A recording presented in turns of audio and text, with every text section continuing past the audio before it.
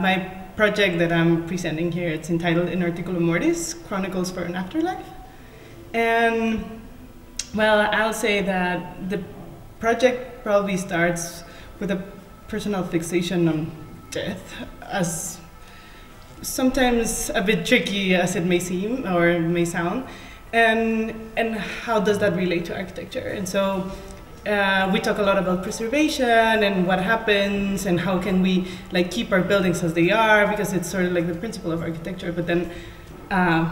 fact is that a lot of our buildings get demolished or like simply just like ruined in time. And so the project exactly addresses that like how can we preserve them in another way that is not physical? And the way that it deals with it is that uh, so it starts making these narratives sort of like stories borderline fictions that integrate documentation on these buildings that are about to get demolished and also starts mixing like popular history and just like mouth to mouth sayings of these buildings and how they can interrelate in order to tell like a more complete uh,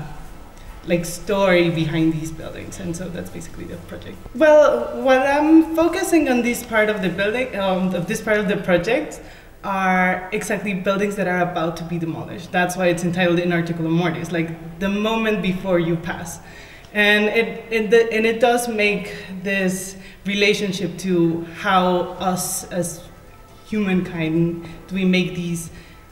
um, statements about people and what they've done and right before they pass away we want to remember them and so it has this spirit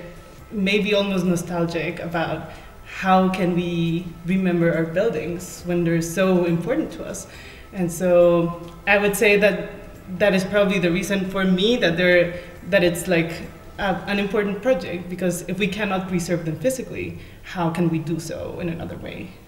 The first part, the the project started more of a written exercise. So to write these stories or these like documentaries and like but but there's the idea of pushing it further and how can we make these stories um, like be told in another way. So I guess part of the thing about coming here is like meeting other people, seeing what other formats I can like integrate into the project and just who can I collaborate with to make it take a next turn and just like maybe turn into something else. So that's probably I mean, knowing that there's going to be so many projects that are so different, uh, I'm pretty sure that